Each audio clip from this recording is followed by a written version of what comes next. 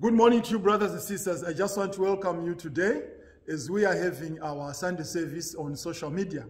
And uh, I hope that you are going to enjoy the message from the Word of God. Uh, I always enjoy to hear the Word of God and uh, just absorb it and meditate upon it. I, I find it really enriching in my life.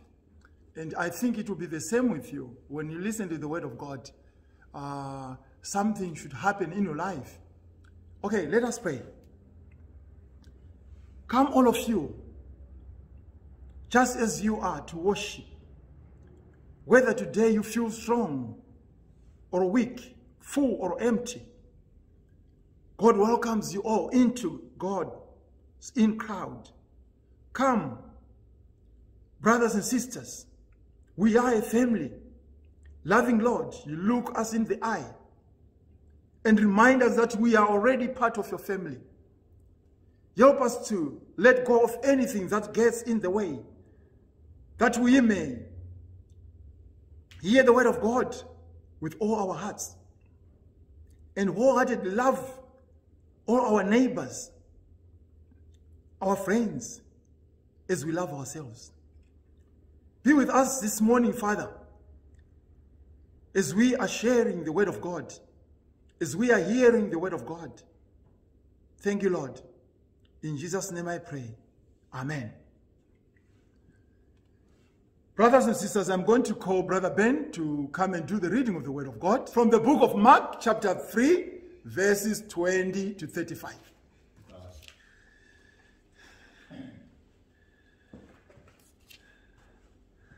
Good morning, my amazing uh, church family. I uh, hope your week's going well. Uh, it's been really well here. I've, I've, finished another semester of uni, so I'm pretty uh, pretty happy today. Uh, as, as Johnson mentioned, Mark 3, 20 to 35. Then Jesus entered a house, and again a crowd gathered, so that he and his disciples were not able to eat. When his family heard about this, they went to take charge of him, for they said, He is out of his mind. And the teachers of the law who came down from Jerusalem said, He is possessed by Beelzebul. By the prince of demons, he is driving out demons. So Jesus called them over to him and began to speak to them in parables. How can Satan drive out Satan? If a kingdom is divided against itself, that kingdom cannot stand. If a house is divided against itself, that house cannot stand. And if Satan opposes himself and is divided, he cannot stand. His end has come. In fact, no one can enter a strong man's house without first tying him up. That then he can plunder the strong man's house. Truly I tell you, people can be forgiven all their sins and every slander and utter but whoever blasphemes against the Holy Spirit will never be forgiven. They are guilty of an eternal sin. And he said this because they were saying, He has an impure spirit. Then Jesus' mother and brothers arrived. Standing outside, they sent someone in to call him. A crowd was sitting around him, and they told him, Your mother and brothers are outside looking for you. Who are my mothers and brothers? He asked. Then he looked at those seated in a circle around him and said, Here are my mother and brothers. Whoever does God's will is my brother and my sister and mother. And this is the word of the Lord for this week. And uh, yeah, we'll get Johnson back to share his message with us. It's going to be a good one based on the verse. So yeah, come with open ears. God bless. Uh, good morning once again. Uh, I just want to delve into the uh, Word of God and sharing the Word of God. Um, my theme this morning is what's going on at your house. What's going on at your house? Jesus experienced conflict in his family. In today's text, we hear that his family was so upset by what they saw he was doing and heard he was saying that they decided to take charge of him because they thought he was out of his mind. In verse 21, Later in our story, we hear that Jesus' family arrived while he was debating with the religious leaders about Satan, the prince of demons. Someone told him that his mother and brothers were there. Jesus responded, My true family members are those who do the will of God. There was tension in the air, not only because of the hot debate with religious leaders, but because of conflict with family members. Jesus knew the agony of family life. There is agony in every family. There is also the possibility of joy, which helps us face the conflicts of life. Don't be surprised when conflict arises, even in the best family. Even the Holy Family, there was conflict. Remember the Bible story of the four. The family too is under the case of four as described in Genesis chapter 3. That is the beginning point of the Bible story of Mark chapter 3, verse 20 to 35. Conflict and agony in the physical family. So Jesus had conflict with his physical family. Some family members came and tried to take charge of him because they thought he was crazy. They thought he had gone over the age and he had become a religious fanatic. They thought he was crazy because of what he was doing. Preaching about the kingdom of God, healing and debating with powerful officials. You can feel the agony of conflict as you hear the story of how family members decided among themselves to put him away quietly before he did any more damage to himself and them. In the family conflict, there was misunderstanding, miscommunication, misjudgment, classic symptoms of agony in all families. I think it resonates well with every family. Jesus' family thought he had thrown away security. Jesus had left home and the carpentry business his father Joseph had set up in Nazareth. Jesus' departure directly affected the financial security of his family. He was the oldest son of a dead father. In Jewish culture, as the oldest son, Jesus was responsible for the security of the family. So Jesus had become an itinerant preacher, which had no security for him or for the, his family. There must have been a lot of gossip in Nazareth when that happened. The family was embarrassed by what appeared to be an act of irresponsible men. So they were concerned about the security issue. They were also concerned about the safety issue. Jesus was on a head-on collision course with the orthodox religious leaders of his day. Potential conflict with them meant conflict in the family as well. No sensible man would deliberately agitate the powers that were in place. It's like you are fighting the government. The family thought that Jesus could not win in a battle with the priests, the Pharisees, and the Sadducees. So the conflict with the religious leaders rose to fever pitch when the religious leaders accused Jesus of being possessed by Beelzebub, saying he's driving out demons by the prince of demons. So Jesus' family friends thought he was besides himself. So the family was concerned about the safety issue for Jesus and for themselves. So they were concerned about Jesus' teaching, which challenged the values of his society. Jesus' family thought he had thrown away the societal issue. You know, also, every parent expects you to uphold the things that they've grown up with, they've raised you up with. But now Jesus is now challenging all the status quo in the society. And they said, no, this can't be. It means he's out of his mind. Why don't we just go and grab him out from this thing that he's doing? He had formed his own little society and expected them to change the world. He had called his disciples who were following him. And now they were changing the world. Jesus was taking risks with this new teaching. There were risks would have implications for his family too. He must be crazy, the family members whispered. We had better rescue him before he does any more damage. Let us take him. So according to Mark chapter 3, verse 21 to 20, uh, 20 21, Jesus' family said he was out of his mind. According to Luke 4, verse 16 to 30, the conflict went from bad to worse when he went to Nazareth.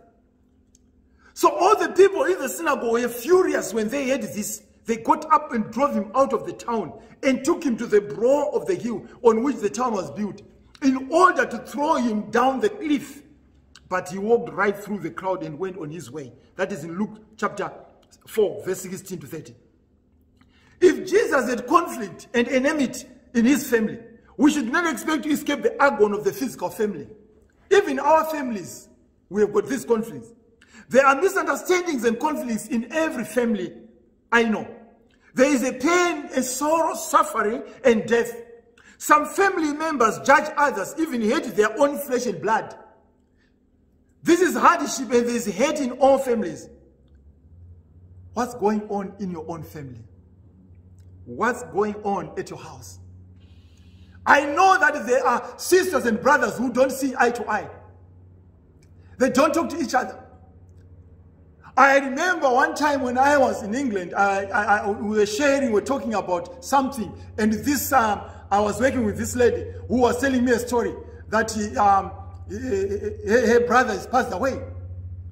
And when she was telling her about her brother has passed away, uh, it ended up she ended up indicating that she had not seen her brother for more than 20 years. And they were just one, he was in Sheffield, and the other one was in Southampton. But they've not seen each other for 25 years. I couldn't believe it. And she was telling me that she is really happy that she was going to meet her nieces and, and, and nephews, whom she had never seen. So which means, yes, they knew that she's there, they knew that he's there, but they never come together. You can see what happens in families. So the family is a place where great joy can come, but when sin enters in, the family can be a place of great agony too. Estrangement between spouses, parents and children, brothers and sisters, and other family members can cause so many painful problems that we wonder how we can go on. We don't even know how to go on. Divorces, they cause pain in a lot of children. And I have talked to a lot of children who are in a situation when families are in conflict. And you can hear what they say. I wish if my parents have not divorced. I wish if my parents were together. I wish if my father has not remarried. So you can see all these things. The children are wishing something which they cannot even take control of. And this is the situation they find themselves in.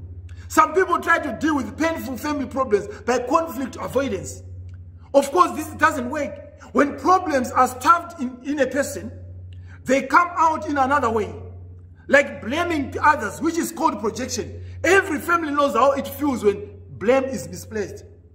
Sometimes I've seen people just blame others for no reason. There are certain people who are blamed for everything that happens in the family. Even besides, even there's no person who can witness what they've done. They are always receiving the blame. What we would like to experience when tension comes to the family is conflict resolution.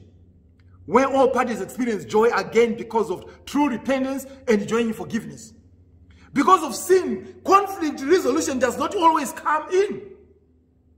In some cases, the best way we can hope for is conflict management. How do we manage our conflict? They just move on without solving it. Conflict management comes when one or more family members repent or forgive, but others do not let go of the past. You may say, I'm sorry, but they will never forget what happened. Maybe they'll keep on reminding you every day. It could be husband and wife, they're keeping on reminding each other of even what happened 10 years ago, 20 years ago. So you remain a slave in their mind. You remain a slave in the same house because they keep on reminding of what you've been doing. So in this setting, the only option is to face the fact that we cannot change other people, only ourselves can change. So in this setting, all we can do is change our attitude. Be sure that we do not get dragged down by the tension caused by the sins of others who are fleeing or fighting. Conflict resolution does not come from avoidance or fleeing. When we flee, we take our problems with us. So you don't need to run away. When you run away, you are running away with the problem. You're not leaving the problem. How about fighting? When we fight, sometimes issues get resolved. But much more often, conflicts heighten and misunderstanding multiply when people fight. So, isn't there another way to deal with family conflicts? Yes, there it is. It is called facing. Facing means putting your cards on the table, getting the issue out where it can be seen by all. and try to solve it. That is what Jesus did when he said that the family of God is more important than the physical family. Jesus said, whoever does God's will is my brother, my sister, and mother. In other words, the faith family is higher than the physical family. I, I need acceptance. Last week I was talking about belonging. When you are part of the Christian family, when you are part of the church, you feel you belong to them. You are a stakeholder. You are part of the family. There is nothing that could be done without your knowledge because you are part of the family. Nothing should be done behind the closed doors because you are part of the family. It is only in the faith family that we can face one another and experience conflict resolution or management through forgiveness of sin. When you realize that I've done something wrong, as a Christian, you quickly ask forgiveness. So the forgiveness factor helps us face the power of evil in human relationships and overcome misunderstandings, miscommunication, and misreading of our motives. There was a power of evil at work in Jesus' family. That conflict is experienced in our families too. There is agony in the physical family, but there is possibility of ecstasy there too. There's a possibility of joy in the family. God said to the solitary families in Psalm 68 verse 6. Because the family can bring great joy as well as great agony. Especially when family members become a family of faith. There is a joy in the family when we celebrate weddings. There is a joy in the family when we celebrate graduation ceremonies. We, we, there's joy in the family when there's success. But I know again that there are some people who are always uncomfortable with the success of others in the family. Who are always not happy. Who are always, even when you invite them for weddings, they don't even come. Even when you invite them for important occasions, they don't even come. It could be birthdays, it could be other things. They don't come. So you can see that there's always conflict in the family. Jesus brought potential resolution to the confrontation with his brothers and sisters by redefining the family. My family members are those who do God's will. He's now saying that. He said, to discover what Jesus meant by God's will, we have to look at another difficult verse in our story, which at first seemed to confuse the situation even more. All families have problems. That is the first thing that is obvious in our lesson. If Jesus and his family experienced tensions, it ought to take the rest of us off the hook just like little bit. All families have their headaches and heartaches.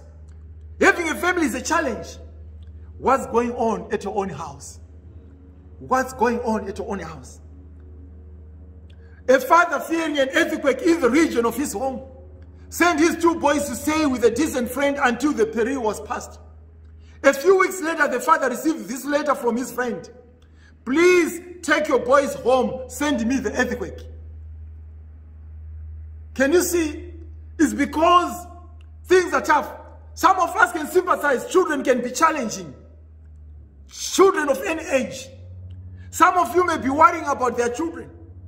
You may be saying, are we too tough to our children? Are we not tough enough? Do we give in too often? Too seldom? Do we listen to them? Do we understand them? Maybe we nag too much. Are we good parents? We are the answers. Where are the answers in all this? How does one know what to do? What's going on at your house? What's going on at your house? The young people are saying the trouble with grown-up is that they think they know everything. These parents, they think they know everything. Is that they don't know anything. Surprise young people. Parents don't know everything, especially about raising children. That's what makes it even so difficult. This, that is why so much of family life is trial and error. Most parents do their best they can and they pray that it, it is enough. It is particularly difficult being a family in today's world. Potentially the most sociological significant change in our society may ever be that of a working mom. Keeping families afloat financially has just put new pressures on most families. Our children are being raised on TVs, on gadgets because we don't have time for them.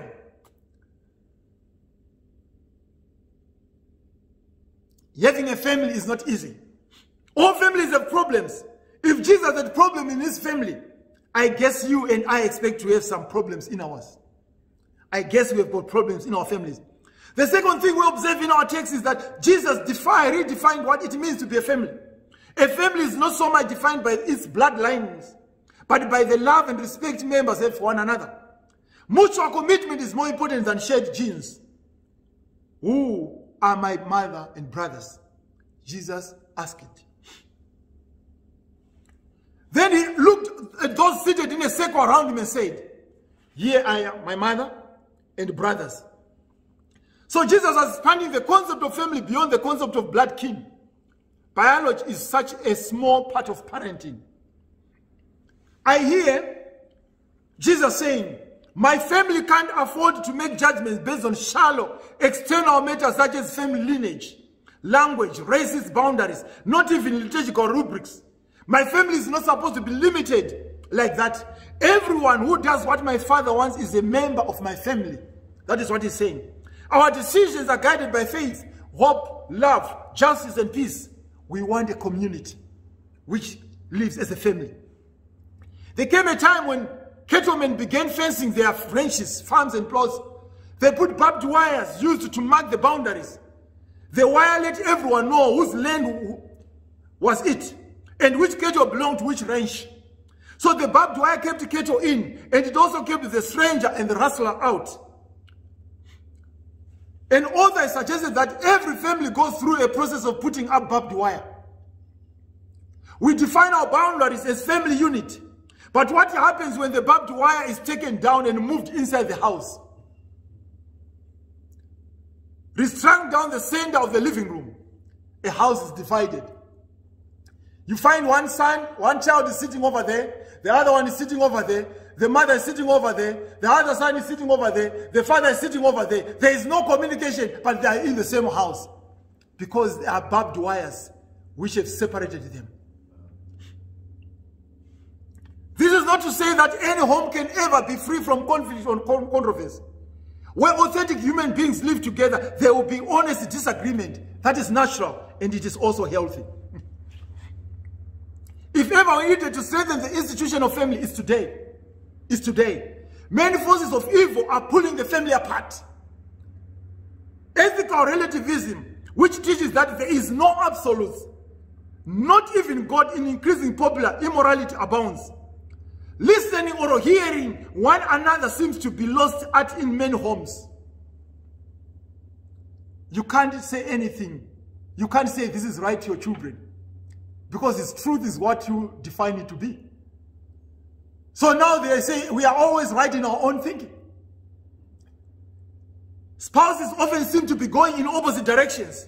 Parents and children have had time communicating. Many modern homes are little more than large telephone booths where arrangements are made to live. What's going on at your own house? What's going on at your own house? One household will be divided. Three against two, two against three. What's going on at your own house? It can get worse. Like what Jesus said in Luke 12, verse 15, 53. They will be divided, father against son, son against father, mother against daughter, daughter against mother, mother-in-law against daughter-in-law, daughter-in-law against daughter-in-law, against mother-in-law. It seems at first glance that this fire Jesus advocates is all about destruction and division. In fact, one of the primary purposes for fire is to cleanse and purify. Divisions may come, but God's first purpose is sending fire to families to cleanse and purify God's people's lives and relationship. Before looking at the family, goodbyes that may be involved when one person comes to faith and other family members don't, let's look at God's intention of establishing family ties. I've seen that when you become a Christian, not all of your members will support it. Some will be saying bad things about you. Some will be saying words that you will not even want to hear. They can say you're getting crazy because now you become a, a, a Christian, you've got faith in God. But let me tell you, God created male and female and established marriage and family. God said it is good It is good. Family ties are more than human contracts, they are part of God's order. In other words, it is God's intention to give us a preview of fulfillment as members of His eternal family by placing us in a loving family relationship in this life. So the Bible speaks of the relationship between God and human beings in terms of groom and bride in Revelations 21 verse 2. Family ties are good when we see these ties as fostered of the ties we will have in heaven with God and his heavenly host. So God works to establish these human ties to strengthen and purify them. Family ties are strengthened and purified when the members of the family remember the order of creation. The first thing is God first. If every family remembers that they should put God first, all these conflicts will be solved so easily. God first, family second, work third. When this order of creation is followed, families come closer to one another. When this order is upset and something other than God is in first place, there is disharmony and division. Because it's not God first. So first ties are strengthened when family members love and respect God above everything else. And have love and respect for one another. Absolute obedience belongs only to God. But we are called to honor those of us in the Lord. Parents. Children are supposed to honor their parents. Honor your parents. It's biblical. And be honorable to those under us in the Lord. Children. Fathers. Do not provoke your children. But teach them to live and abide in the word of God. Spouses are guided in their relationship by Jesus' words, just as I've loved you, love one another. In John 13, verse 34. So the gospel of Jesus is good news. But when someone is locked into their sin, they may see it as bad news. The fire of the gospel is intended to cleanse family relationship. On some occasions, the fire of the gospel is too hot for certain family members to handle. They flee from the family that embraces the gospel. They say goodbye. I won't be part of this family. They cannot handle it.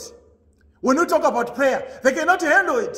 When we talk about forgiveness, because what they want is always revenge. What they want is always to retaliate. So this conflict in Jesus' family was eventually resolved. I didn't know, but it's there, it was resolved. Just listen. We don't know all the details of the reconciliation, but we read in Acts chapter 1, verse 13 and 14, that the group that met for prayer in the upper room after Jesus' resurrection included Mary and Jesus' brother. So Mary and Jesus' brother were there with the believers in earnest prayer. Somehow they had seen the light and had become followers of the way. Is it really something to hear that the family of Jesus who were seeking to, who were thinking that is out of his mind, now were also followers of the way. Through forgiveness, they joined the faith family. Later, we are told that James, Jesus' brother, became the head of the church at the council in Jerusalem. Can you think about it in Acts chapter 15, verse 18? He was now the leader. James had gone a long way from wanting to put Jesus away to heading up the church. Repentance is what is needed. Repentance through Jesus Christ brings conflict resolution to those who are in the faith family. So to offer forgiveness even to those who do not repent is the will of the Lord. You can say, I'm sorry, even to someone who doesn't need that forgiveness. Forgiveness is the way to follow Jesus' example. That is the will of God spoken for in our story. That is what brings access to the, us to families today. Apparently, because of the crucifixion, resurrection, family goodbye become family of good ties.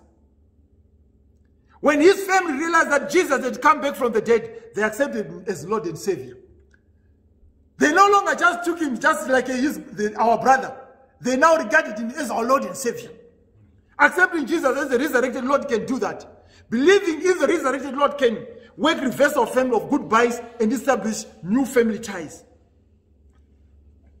If ever we need a family ties to be established and strengthened, it's today. If you are a Christian, try by all means to bring others back, to reconcile, to ask forgiveness. Faith in the crucified and risen Lord Jesus Christ will do that. What's going on at your fair house? What's going on in your family? What's going on? I don't know what's going on in your family. I'm not there. But you know what's going on right now in your family. You know the people you are unable to talk to. You know the people you don't have good relationship with in your family. Please reconcile with everyone because you are a Christian. May the good Lord help you. May the good Lord bring something through the power of the Holy Spirit so that you are able to be the conveyor belt to bring this reconciliation with your family members and be able to say, yes, on that day, I managed to do something through the power of the Holy Spirit. Now I can talk to my mother-in-law. Now I can talk to my brother-in-law. Now I can talk to my sister. Now I can talk to my brother. Now I can talk to my father.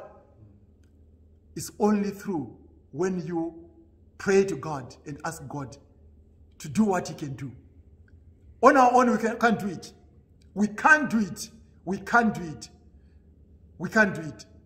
And refusing to ask forgiveness, I regard it as the unforgivable sin. Refusing to listen to the Bible, I regard it as unforgivable sin. Refusing to the power behind Jesus, I count it as unforgivable sin. Because after saying this, you should jump up and say, Hallelujah. God help me. I want to do it. In my own family. I said, I don't know what is happening in your family, but there is something happening. I don't know what's going on in your family, but there is something happening. May the good Lord help us from now and evermore. Amen. Okay, let us let us pray. Heavenly Father, we come before you. In Jesus, through the power of the Holy Spirit, you show us that there is always room at your table for one more to be forgiven. There is always enough time for everyone to be listened to. There is always enough respect for everyone to be valued. There is always enough truth for everyone to grow and learn.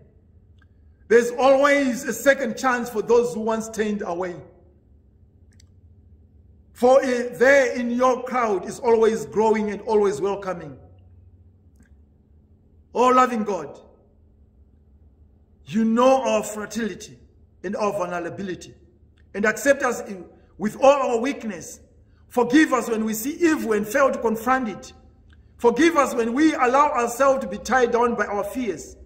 Forgive us when we label and reject others because they are different. Forgive us when we become divided by our own prejudice and compromise. Renew us with the strength to challenge evil, to overcome our fears, and to work as one of, for your kingdom of love. Amen. I'm now going to allow you to take your offering as you thank God for what God has done to you. You know, it's, it's always good to remember where you are today because you were somewhere when God called you. And you still remember that God is still working in your life. Maybe every day of your life, for me, every day of my life, I see God's power in my life. I see miracles every day in my life. And I always want to say at the end, thank you, Lord. For all these seven days, God was looking after me. And I just want to say thank you, Lord, for all these seven days. Let us thank God with our offerings. Heavenly Father, we bring our offerings to you. May you bless these offerings, Father, so that everyone, everyone, not anyone, everyone is able to say thank you. Everyone is able to say thank you, Father. Thank you, Father, for the love you have shown to us. Without you, we are nothing. Without you, we, are, we have meaningless life. But Father, we just want to thank you. May you bless our offerings, Father. May you bless every one of us. In Jesus' name I pray. Amen. Let us receive grace. Loving God, you send your Son into your world to gather us all up into your kingdom. Be with us as we hear and respond to your call to do the same. May the grace of our Lord Jesus Christ, the love of God, and the fellowship of the Holy Spirit be with us all from now and evermore. Amen. Amen. God bless you all.